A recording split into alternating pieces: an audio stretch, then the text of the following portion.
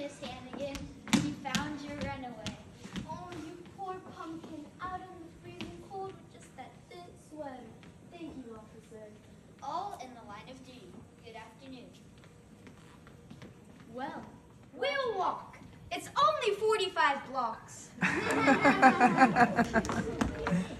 Yes or no? If I can't have my real mother and father just known as the world, I'd rather have her, father than you, Miss Warbucks.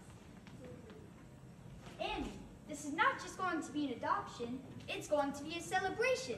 We'll have everyone from the orphanage here tomorrow morning for a big Christmas party. I'm the luckiest kid in the world. Well, I'll go straight to the top.